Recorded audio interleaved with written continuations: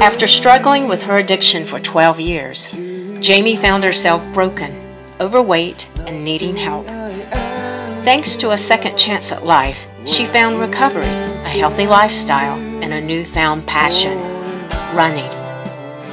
Come join us on Tuesday, September the 29th, when Heroes in Recovery lead advocate Jaime McDonald shares her story of overcoming and finding herself through running. At Abundant Life Run for God, Jaime McDonald. And there is nothing you cannot do.